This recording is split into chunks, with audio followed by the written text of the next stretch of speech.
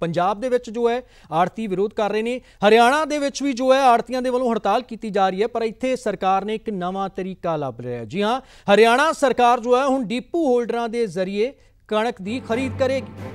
ਆੜਤੀਆਂ ਦੀ ਹੜਤਾਲ ਤੋਂ ਬਾਅਦ ਖੱਟਰ ਸਰਕਾਰ ਨੇ ਇਹ ਤਿਆਰੀ ਕਰ ਲਈ ਹੈ। ਕਈ ਜ਼ਿਲ੍ਹਿਆਂ ਦੇ ਵਿੱਚ ਡੀਪੂ ਹੋਲਡਰਾਂ ਨੇ ਫਸਲ ਖਰੀਦ ਦੇ ਲਈ ਲਾਇਸੈਂਸ ਅਪਲਾਈ ਕੀਤਾ ਹੈ। ਕਰਨਾਲ ਦੇ ਵਿੱਚ ਹੀ ਕੱਲੇ ਤੁਹਾਨੂੰ ਦੱਸ ਦਈਏ ਕਿ ਪ੍ਰਸ਼ਾਸਨ ਨੇ 180 ਡੀਪੂ ਹੋਲਡਰਾਂ ਨੂੰ ਲਾਇਸੈਂਸ ਦੇ ਵੀ ਦਿੱਤਾ ਹੈ ਕਿ ਉਹ ਖਰੀਦ ਜੋ ਹੈ ਫਸਲ ਦੀ ਕਰ ਸਕਦੇ ਨੇ।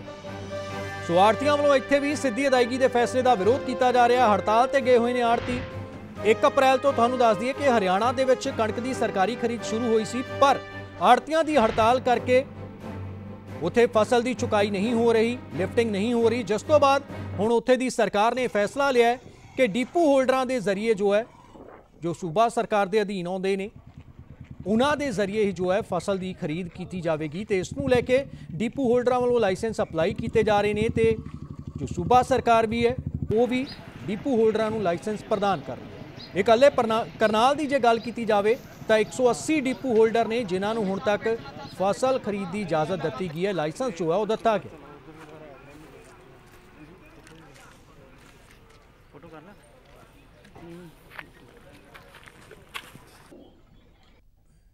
नाल मंडी में 33 टेम्प्रेरी लाइसेंस इशू हो गए हैं मार्केट कमेटी ऑफ़िस से डिपो होल्डर्स के।